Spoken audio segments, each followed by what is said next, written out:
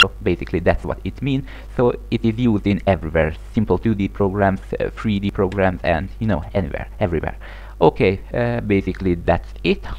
So uh, because I run out of time probably so I make another uh, change we we just use more rectangle because obviously in a game you don't have just one rectangle you have a bunch of rectangles so um, instead of we I make a SDL rect uh, rec array and I uh, put four things in there.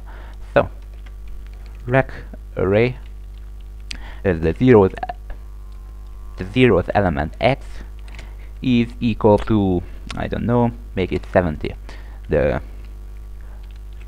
the zeroth element y is hmm, make it uh, 0 okay the zeroth element uh, dot height is make it uh, 200 and the width is make it 10 so rec array 0 dot width equals 10 okay and I just copy to save time. Okay one two three. Alright so this will be the first uh, first element and change the location to x uh, 500 y is 60 uh, height is mm, make it uh, 10 and width make it uh, 140 okay the second element so actually this is the third element. We make it uh, x equal to hmm, 300 and the uh, y is equal to 60 and the height is uh, the height and the width is remains.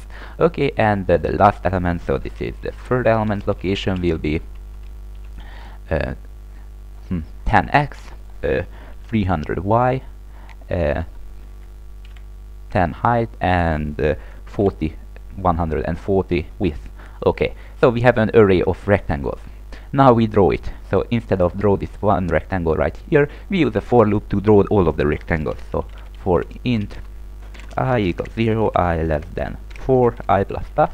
Okay, and we just fill this rectangle.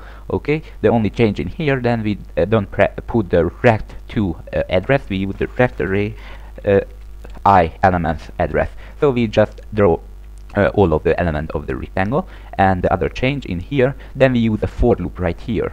Uh, so we go through all of the elements and we check if there is a collision.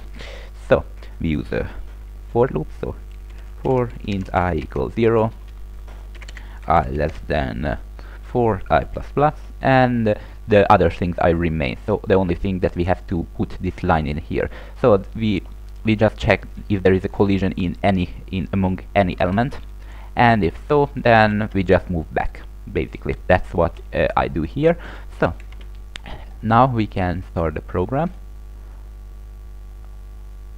Okay rect array not defined in the line 60 so I probably rect array not rect array. Okay and I uh, have one th more thing that we have is that we don't put the rect2 we that uh, we press the rect array i address always. So I always almost forget it. So rect array i as you can see. Okay and uh, I just copy it so we can save time. Copy copy and copy. Okay basically we can run the program now. And as you can see we have uh, more uh, rectangle but as you can see I cannot go inside none of them. So not matter how hard I press the key I cannot go in. Okay the, here there is another rectangle and I cannot go in but something wrong happened so okay. And I cannot go inside other rectangle as well. So for example this is like a wall. If you if you just replace this rectangle with an image then it is quite good actually so any game uses this almost every game uses this technique. So I cannot go inside these spheres.